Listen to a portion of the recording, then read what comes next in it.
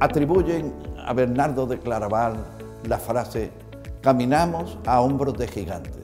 Para mí, nuestros gigantes han sido los planes estratégicos, los sucesivos planes estratégicos que esta ciudad se ha creído y ha ido desarrollando en el tiempo. De ahí hoy tenemos que concluir una serie puntual de hechos que nos tienen que dar, ayudar a dar otro gran salto. La Málaga de la educación, de la formación, la Málaga de los oficios culturales, tanto en formación profesional como desde una perspectiva universitaria. Hacer de la cultura no ya un motor de desarrollo económico, sino un necesario ámbito de formación. También tenemos que bucear y penetrar en la naturaleza de las singularidades culturales de los barrios. Tenemos que recuperar la política urbana de esculturas en la ciudad, porque esa es una manifestación de que esta ciudad vive en cultura y en la cultura. Y claro, para finalizar, el auditorio.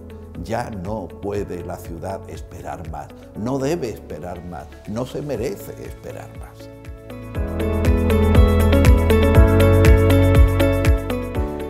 La reformulación que hemos planteado, entendemos que todas las estrategias 2030 tienen que llevar factores como la innovación, la inclusión, la sostenibilidad. Y hemos trabajado en tres grandes líneas de trabajo. Una que tiene que ver con la creación local, en este sentido entendemos que hay que diversificar todavía mucho más la oferta cultural de Málaga, hay que procurar en gran medida que se extienda al territorio y que además se plantee la sostenibilidad del ser humano. Creo que es algo muy importante en este momento. Por otra parte, la segunda línea que tiene que ver con las industrias culturales, hay que seguir impulsando la producción, pero también hay que hacer especial mención a la distribución y comercialización del producto que estamos realizando y que eh, podamos atraer en gran medida a talento también nacional que nos sirva de influencia. Y por último, en, en el apartado de la innovación, la existencia del polo de contenidos digitales creo que nos ha posicionado mucho en el mundo del videojuego y de la creación virtual. Tenemos que conectarlo aún más con nuestros creadores locales y por otra parte cuidar mucho que no se produzca una brecha digital que pueda hacer que se separe la cultura en esta ciudad según estratos de población. En la última década, Málaga se ha consolidado como uno de los destinos de turismo urbano cultural más atractivos del Mediterráneo. Gestionar este posicionamiento requiere de políticas transversales que apuesten por un desarrollo moderado y una planificación racional con sentido común y proyección. Debemos concienciarnos sobre la necesidad de reducir la huella ecológica, apostando por la economía circular y los productos kilómetro cero.